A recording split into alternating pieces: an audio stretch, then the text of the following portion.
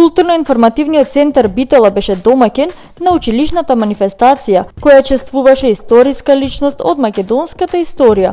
Имено по повод патронатот на основното училиште Гоце Делчев се одржа свечена академија со изложба на училишни цртежи на најуспешните ликовни цртежи на учениците посветени на великанот Гоце Делчев. Беше изведен и рецитал и музичка програма која ја одбележа 120 годишнината од загинувањето на великанот на Македонија македонската борба за слобода Гоце Делчев.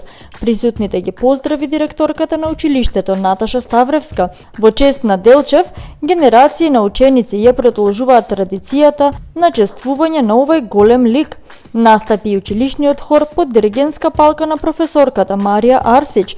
Беше прикажан и краткометражниот филм Училишниот живот.